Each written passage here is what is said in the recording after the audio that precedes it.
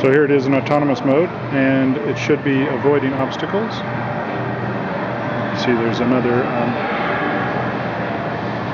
other people up there. Drives forward, avoids obstacles.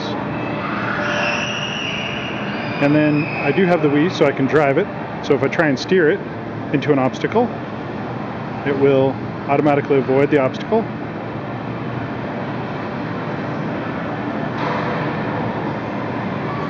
And steer itself uh, clear of those obstacles.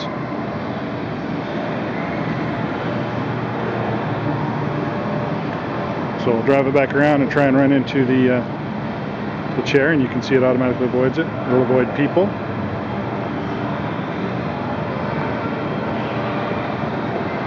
And uh, see if we can drive it back and hit the Nest T.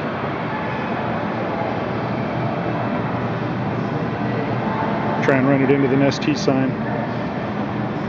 And of course there it is avoiding